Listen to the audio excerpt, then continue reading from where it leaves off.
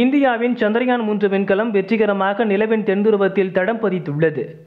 சந்திரயான் மூன்று திட்டத்தின் இயக்குநராக தமிழகத்தைச் சேர்ந்த வீரமுத்துவேல் பணியாற்றியுள்ளார். இரண்டாயிரத்து பதினாறில் இவர் செய்த ஆய்வு சந்திரயான் மூன்று தரையிறக்கத்தில் திருப்பு முனையாக அமைந்தது.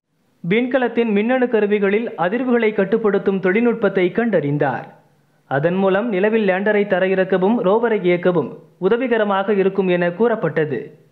இதுவே வீரமுத்துவேலை இரண்டாயிரத்து பத்தொன்பதில் சந்திரயான் மூன்று திட்ட இயக்குநராக்கியது எதிர்பார்த்தபடி இவரது தொழில்நுட்பம் மூலம் விக்ரம் லேண்டர் நிலவில் தரையிறங்கியது to demonstrate the soft landing onto the moon surface and we became the first country to go to the near to the south pole of the moon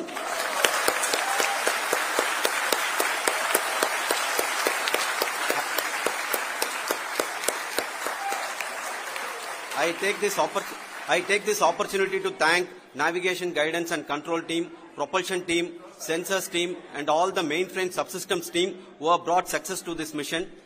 I also take the opportunity to thank the Critical Operations Review Committee for thoroughly reviewing the mission operations right from launch till this date.